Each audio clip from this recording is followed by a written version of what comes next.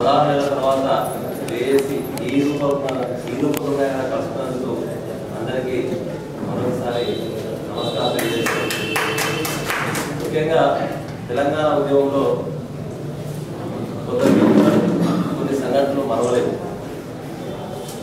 వ్యక్తి ముఖ్యమా వ్యవస్థ ముఖ్యమా అని చాలాసార్లు జయశంకర్ సార్ చాలామంది సార్ చాలా మంది ప్రొఫెసర్లు చర్చించినప్పుడు జయశంకర్ సార్ ప్రత్యేకంగా చాలా మీటింగ్లలో వ్యవస్థ గొప్పదే కావచ్చు ఆ వ్యవస్థ నడపడానికి ఒక వ్యక్తి లేకపోతే మంచి వ్యక్తి లేకపోతే ఒక సిద్ధాంతపరం ఉన్నటువంటి వ్యక్తి లేకపోతే ఆ వ్యవస్థ కూలిపోతుంది. కాబట్టి వ్యవస్థ కంటే వ్యక్తే గొప్పడని చాలా సార్లు జయశంకర్ సార్ చెప్పగా విన్నాను. మరి ఈ తెలంగాణ ఉద్యమంలో కీలక భూమిగా పోషించినటువంటి వ్యక్తులలో అగ్రగామ ఉన్నటువంటి వ్యక్తి మన విఠల రవీంద్ర అన్న అది చెప్పుకోక తప్పదు ఎందుకంటే జేఏసీలో దగ్గరుండి తన యొక్క కార్యక్రమం చూసినాం. ఇవాళ కరీంనగర్ కలన పేరు కావచ్చు ఆనాటి మిలియన్ మార్చ్ కావచ్చు సకాల సమ్మె కావచ్చు లేకపోతే తెలంగాణ మార్చు సాగరహారం కావచ్చు లేకపోతే సంసద యాత్ర కావచ్చు రైలు రోడ్ కావచ్చు రోడ్ రోడ్ రోడ్ కావచ్చు రోడ్ పనులు కావచ్చు సడక్ పనులు కావచ్చు లేక ఏ కార్యక్రమం చేసుకున్నా ఒక విశిష్టమైనటువంటి ప్రణాళిక వేసేవాడు. ఆ ప్రణాళిక అందరికి చెప్పేవాడు కాదు. కీలకంగా కాన్స్టిట్యూన్స్ ఇన్ఛార్జీలకు లేకపోతే జేఏసీ నాయకులకు జర సీక్రెట్గా పనిచేసే వాళ్ళకు తన సీక్రెట్ విషయాలు చెప్పేవాడు.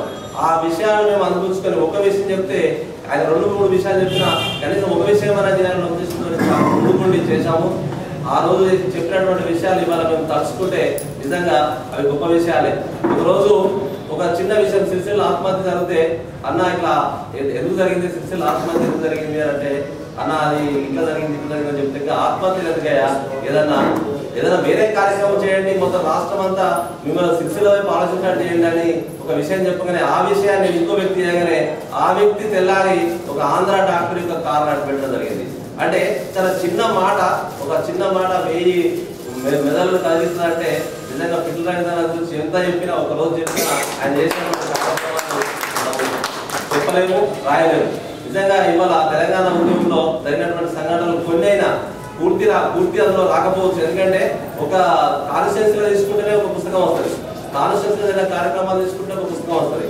మరి అట్లా కాకుండా మొత్తం రాష్ట్ర వ్యాప్తంగా జరిగినటువంటి విషయాలన్నింటినీ ఒక పుస్తకంలో తీసుకురావాలంటే అది సాధ్యమయ్యే పని కాదు. కానీ ఇంత మంచి ఈ పని ఇప్పటివరకు పదహారు నెలల్లో ఎవరు చేయలేదు. కానీ దగ్గరుండి ఆ ఉద్యమాన్ని నడిపినటువంటి శక్తి మేరకు ఉద్యమాన్ని నడిపినటువంటి స్ఫూర్తితోని ఆ పుస్తకాన్ని కూడా ఉద్యమ స్ఫూర్తిలో తెచ్చినందుకు తెలంగాణ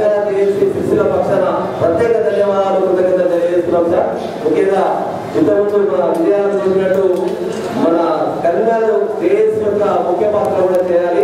ఇంతకుముందు చెప్పినట్టు వ్యవస్థలో వ్యక్తులు కూడా చాలా ముఖ్యమే కాబట్టి ఈ జేఏసీలో పనిచేసినటువంటి వ్యక్తులను కూడా దయచేసి జనబాధ కాకుండా మనం వాళ్ళను కూడా ఆ పేర్లు కూడా తీసుకొచ్చి వాళ్ళు చేసిన కార్యక్రమాలు కూడా ఒక పుస్తకం కూడా తీసుకోవాల్సిన అవసరం ఉంది ఎందుకంటే గెలిచిన వాళ్ళే చరిత్ర రాసుకుంటున్న మనకు తెలుసు ఆ గెలిచిన వాళ్ళే చరిత్ర రాసుకుంటున్న సందర్భంలో ఇవాళ ఉద్యమంలో చాలా మంది చాలా కార్యక్రమాలు చేసిన వాళ్ళు కొందరు తగినటువంటి స్థానాలు లభిస్తలేవు కానీ స్థానాలు లభించకపోతే సరే కానీ విలువలైన దక్కాలని కోరుతూ అదేవిధంగా మళ్ళీ ఈ మనం జయశంకర్ సార్ చెప్పినటువంటి విషయాలు కొన్ని మర్చిపోకుండా మనం గుర్తుంచుకుంటే తెలంగాణ మనకి ఏమి తెలంగాణ మనం ఏం చేసాం అనేది తెలుసుకుంటే తర్వాత జయశంకర్ సార్ చెప్తున్న విషయాలు మనము తెలంగాణకు మనం రోజు మంచి చేయొచ్చు మనం రోజు మంచి జరగకపోవచ్చు. కానీ మనం రోజు మంచి చేయొచ్చు అని చాలా సార్లు చెప్పాడు అట్లాంటి విషయాలు తీసుకొని తెలంగాణ పునర్నిర్మాణం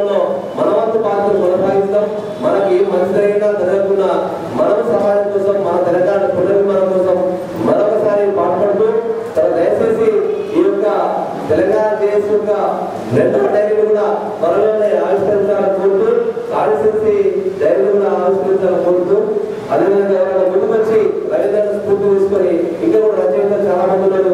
దయచేసి ఇలాంటి డైరీలు రూపొందించాలని కోరుతూ ఈ అవకాశం ఇచ్చినటువంటి జిల్లా